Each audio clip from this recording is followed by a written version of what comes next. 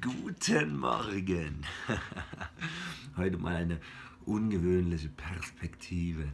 Aber ich bin gerade aufgestanden und ich möchte euch was mitteilen oder euch von meinen Erfahrungen berichten bezüglich einer Sache, die sicherlich für die meisten Menschen sehr, sehr interessant ist. Und das ist das Zwischenmenschliche. Ich habe ja, heute Nacht mit einer Person verbracht, die ich sehr auch sexuell anregend finde. Und trotzdem haben wir keine Sexualität vollzogen, obwohl es mir sicherlich ohne weiteres möglich gewesen wäre, das zu forcieren. Und warum habe ich das gemacht? Und was leitet sich daraus ab für ein generelles Mindset, was ich euch präsentieren möchte, was euch im zwischenmenschlichen Bereich sehr, sehr helfen wird. Und zwar folgendes.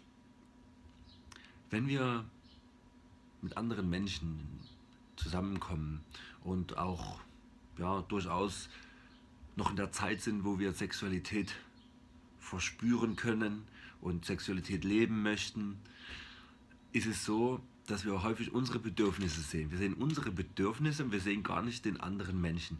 Wir sehen jetzt mal in dem ganz konkreten Fall, wir sehen eine, eine Frau, die sehr, sehr attraktiv ist, zumindest meinem Geschmack entsprechend.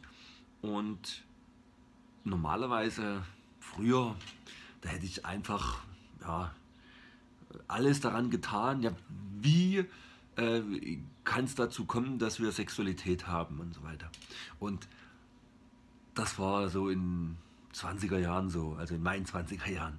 Und ja, und, aber da entsteht immer wieder, das ist eine ganz einseitige Sache, das ist ein einseitiger Energiefluss. Du willst was erreichen und entsprechend entsteht da so unbewusst auch so ein bisschen das, so ein Manipulationsverhalten. Was kann ich tun, damit ich mein Ziel erreiche. Und das ist immer mein Ziel dabei, was ich erreiche. Und das Ende vom Lied ist, und das kann man natürlich nur dann auch als das erkennen, was es ist, wenn draußen kommt gerade Rasenmäher. ich hoffe, ihr könnt mich noch hören. Ähm, oder ich mache das Fenster zu. Keine Ahnung. Ähm, ja, jetzt habe ich den Faden verloren. Hm. Letztlich kommt es dazu, wenn du äh, dein, deine Ziele und das, was du möchtest, überpriorisierst und danach handelst, dass du nicht im energetischen Gleichgewicht sein wirst. Das bedeutet,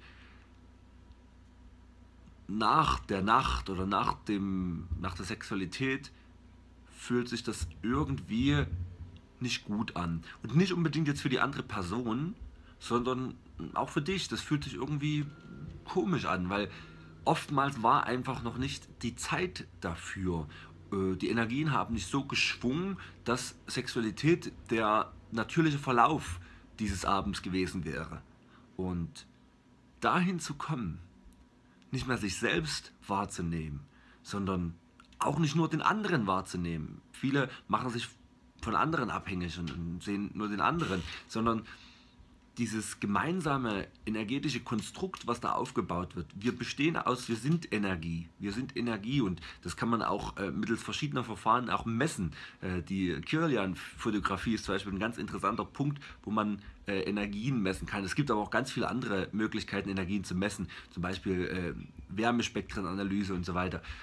Und also wir sind, wir sind alles Energie und wenn zwei hochenergetische Körper aufeinander äh, prallen, also jetzt nicht sexuell, sondern generell, man, man, man bewegt sich in die Aura des anderen rein, dann, ähm, ja, dann entsteht etwas.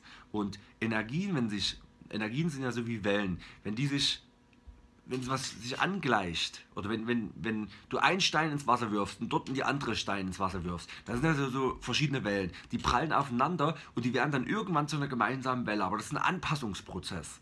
Und wenn man diesen einfach übergeht und seine Welle so stark macht, dass man die andere einfach wegspült, dann wird der andere nicht mehr wahrgenommen.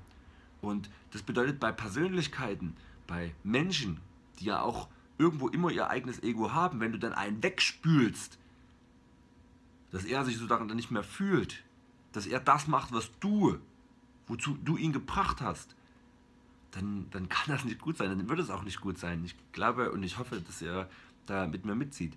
Und entsprechend, ja, finde ich es einfach wunderschön, dass ich die letzten Jahre, Jahrzehnte kann ich noch nicht sagen, aber die letzten Jahre da innerhalb der, der Kontakte mit Menschen, ich würde das jetzt gar nicht mal auf Sexualität beziehen, ausschließlich, tatsächlich diese Energie des anderen versuche zu spüren und im Gleichklang mit diesen Menschen zu kommen. Und zwar auf einer absolut gleich, gleichen Ebene. Und auch wenn ich die Lust habe, mit einer Frau Sexualität leben zu wollen, und sie liegt neben mir, bereit und willig, zumindest wenn ich das wollen würde, ich aber spüre, hey, nein, das ist ein ganz subtiles Gefühl. Nein, das, das wäre es nicht. Also Sexualität in diesem Moment, sondern es, es fühlt sich angenehmer an, einfach zu reden. Angef einfach angenehm. Und zu streicheln und vielleicht auch zu küssen und so. Und dann schaut man immer genau, wie, wie ist die Energie. Möchte derjenige das oder möchte derjenige das nicht? Oder diejenige. Na? Das, ist ein, das ist ein Prozess, den man also dieses auf seine Intuition hören und diese Intuition erkennen, der lange braucht, wie jede Persönlichkeitsveränderung, weg von seinem Ego, hin zu diesem, zu diesem Spüren des anderen. Und die Frau, die nun äh, ja auch nicht mehr jetzt hier in der Wohnung zugegen ist, äh, hatte mir heute früh dann noch etwas gesagt, was dann auch dazu geführt hat, dass ich eben dass ich eben dieses Video jetzt hier auch mache. Und sie sagte mir eben, Christian, Menschen wie dich müsste es viel mehr geben. Und ja, und ich kann mich natürlich nicht klonen, aber ich kann zumindest das, was ich jetzt spüre, was diese Einzigartigkeit oder dich müsste es viel mehr geben, was das ausmacht, dass ich das einfach Video festhalte, deswegen direkt aus dem Bett dass ich das einfach hier im Video festgehalten habe, was ich denke, was sehr, sehr wichtig ist, dass insbesondere andere Männer, die mit Frauen verkehren oder die mit Frauen, ja, also verkehren im Sinne von Frauen kennenlernen und äh, dann hin und wieder auch vielleicht Sexualität äh, leben, dass sie das beherzigen, dass sie nicht sich sind, ihre Bedürfnisse, sondern äh, dass sie auf einer offenen, freiwilligen Basis äh, sich begegnen und die Energien der anderen Person, der Frau spüren. Und dass man einfach schaut. Und auch wenn man sich grundsympathisch ist, wenn man sich sexuell hingezogen fühlt, aber vielleicht ist einfach nicht der Punkt da für Sexualität. Und dann ehrlich zu sich zu sein und nicht sein Ego die Überhand gewinnen zu lassen. Das ist, glaube ich, entscheidend. Und das ist ein ganz subtiles Gefühl. Und diese Person ist auch ganz, ganz sensibel gewesen. Sie spürt sowas. Und ich glaube, sie war auch sehr verwundert, dass wir keinen kein Sex hatten. Aber sie war auch irgendwie, na, ich will sagen erleichtert, aber ja, bei vielen ist das so die logische Konsequenz. Man fühlt sich sympathisch, man fühlt sich körperlich hingezogen, man hat es artikuliert und dann gibt es Sex. Nee, wenn es nicht schwingt, dann schwingt es nicht. Also nicht in dem Sinne. Wenn, wenn, wenn einfach das Reden schöner ist, sich einfach nur ja, in die Augen schauen, gemeinsam singen, oder ein bisschen tanzen, haben wir auch gemacht.